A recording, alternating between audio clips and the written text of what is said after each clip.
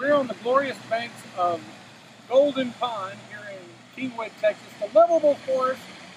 And uh, we have two gorgeous ponds with some large birds hanging around. Beautiful country club back there. There's our house somewhere over there.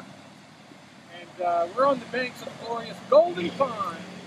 And we're going to share some of our excitement about a new baby. Baby.